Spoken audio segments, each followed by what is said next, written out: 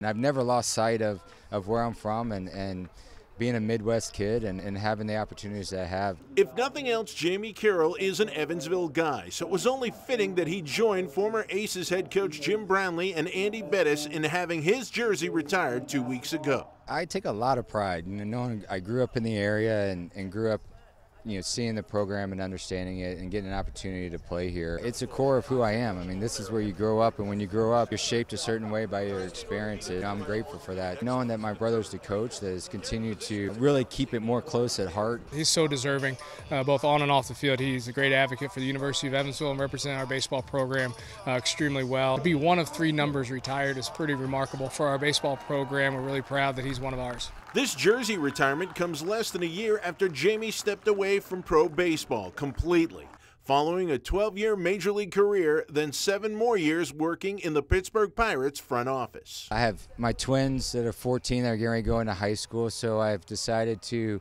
play dad. Walked away from baseball in October to spend more time at home, coaching my son before we hand him off to the high school coach, being around. Realized I've missed a lot of things. I want to be home for that. That's what life is now, and I'm grateful for uh, you know what the game has given me the opportunity to do that.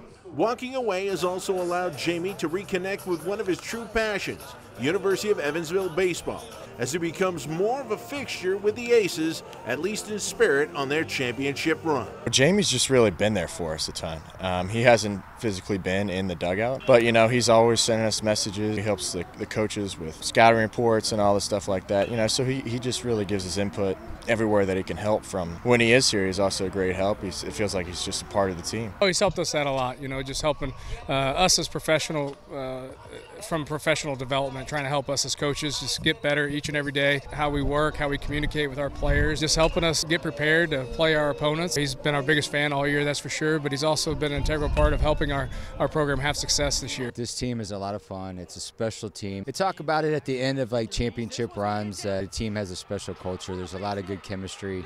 So it's common when you see championship teams or teams that have success, and I, I see that in this team. They root for each other. They cheer for each other. They have a lot of fun. It's been fun to be kind of more involved in it and be around it and experience it with these guys. So this is a lot of fun, and I hope people come out and, and see it for themselves.